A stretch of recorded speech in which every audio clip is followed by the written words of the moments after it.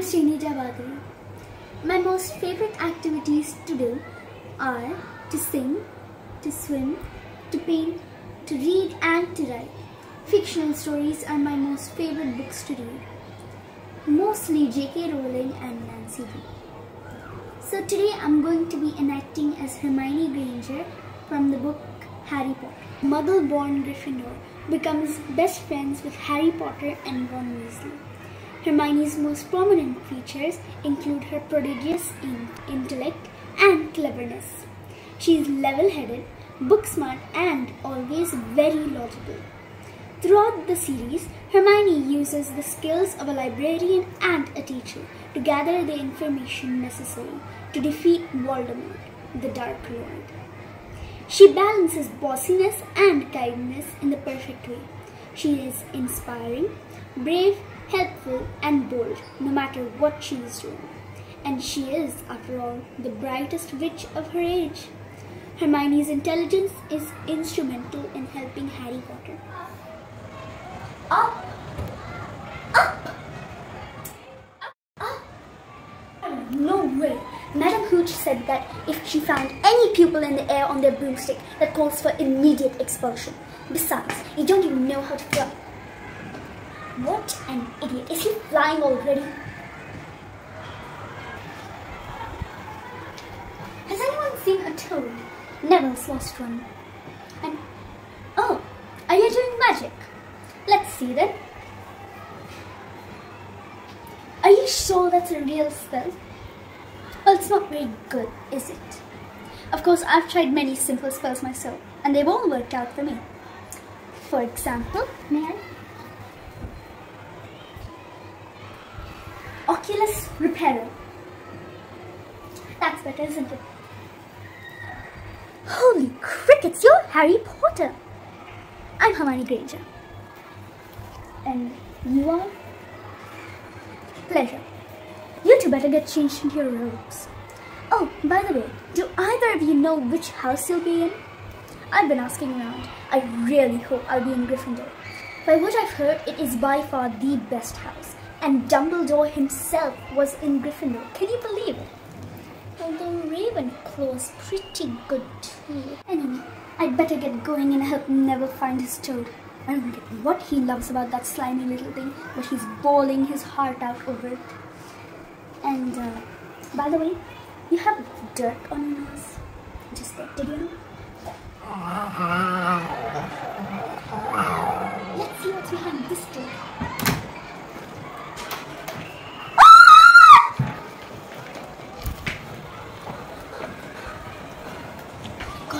That was a close call. Did anyone see what was underneath it? You don't use your eyes, do you, Weasley?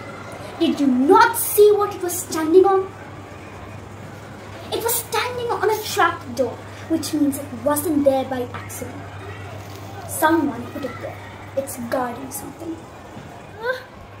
Harry, Ron, you have to stop moving. This is Devil's Snare. If you don't relax, it'll only kill you faster. Ron's not relaxing, is he?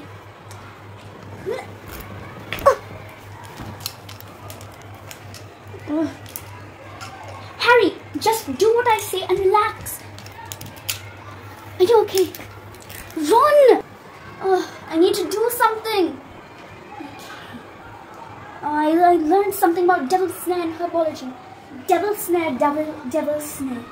It's deadly fun, but it'll sulk in the sun. That's it. Devil Snare hates sunlight. Lumos Solem! Now, I'm, if two don't mind, I'm going to bed before either of you two come up with another clever idea to get us all killed, or worse, expelled. I've always heard Hogwarts end of the term exams are very frightful, but I find them quite rather enjoyable. Hmm, everyone else is so scared. I bid you good night. Stop, stop, stop! You're going to take somebody's eye out. And besides, you're saying it wrong. It's Leviosa, not Leviosa. It's a twist and flick. Watch me. Wingardium Leviosa. Lovely. No. You foul loathsome evil little cockroach!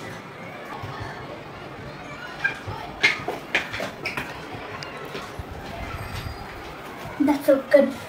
Actually, so good. Brilliant. Come on, now let's get to Buckbeak. Harry, Ronald told me to tell you that Seamus told him that Dean was told by Parvati that Hagrid's looking for you.